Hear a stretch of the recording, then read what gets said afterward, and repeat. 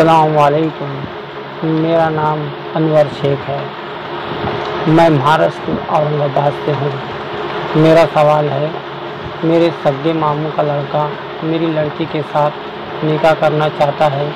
क्या ये जायज़ है? कुरान और हदीस की रोशनी में।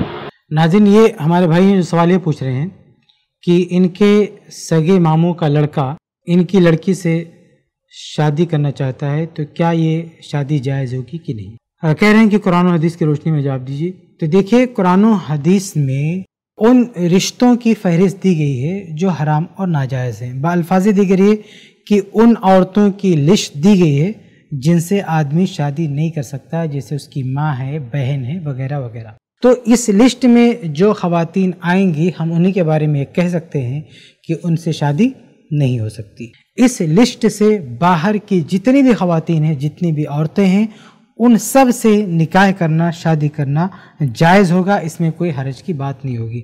तो आपने जो मसला पूछा है, ये मसला इस फहरिस्त के अंदर नहीं आता है, जिसमें अल्लाह ताला ने हराम औरतों का तस्करा किया है, यानी ऐसी औरतों का जिनसे शादी करना हराम और नाजायज़ है। तो जो फहरिस्त अल्लाह ने दी है, जिन खवतिन की कि उनसे शादी नहीं की जा सकती, उस फहरिस्त में ये रिश्ता नहीं आता है, इसलिए यहाँ पर इन दोनों के शादी करने में कोई हरज की बात नहीं है। उम्मीद है कि बात आपके लिए वाजे हो गई होगी। ऐसे ही और वीडियोस बनाने में हमारी मदद करें। आई प्लस टीवी को ज़रूर डोनेट करें।